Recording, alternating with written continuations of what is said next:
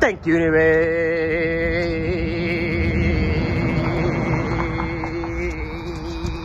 Yay!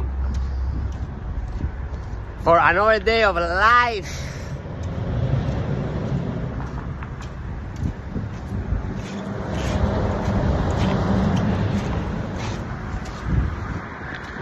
Because I'm alive, you're alive. I'm full of life, you're full of life. Oh, I'm ready to enjoy and celebrate life, uh-huh. Because life is a celebration. Life is whatever you want it to be.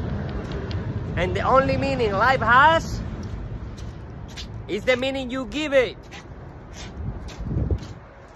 Okay? Everybody's living in a different time because time is a construct of your mind okay everybody's living in a different time in a different world that's the way it should be right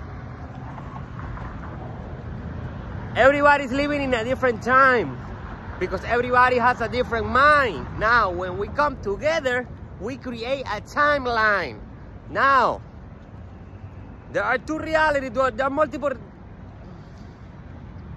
there are two realities being created on this planet, right? Being manifested simultaneously because everything is happening at the same time.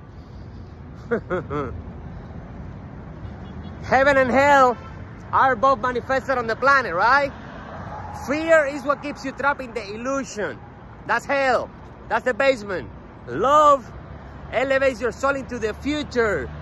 That's the love frequency. That's the penthouse. That's where I'm at. Stay there with me. You're not alone. You're not alone. No, no, no, no, no, no.